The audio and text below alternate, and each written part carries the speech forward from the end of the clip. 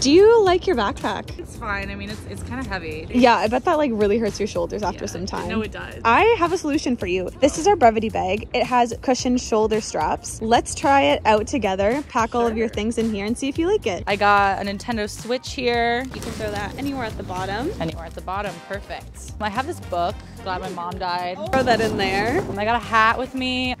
Got a little snack. Got my Trader Joe's.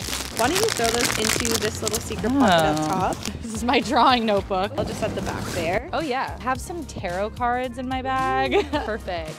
And I got my hot sauce. Gotta carry around my peach hot sauce, Pepper Palace. Okay, throw that in there. Why don't you try it on? See how you like it. See if it feels lighter. Ooh, it's so much lighter. Nice. I like it. Awesome. Thank you. Thanks.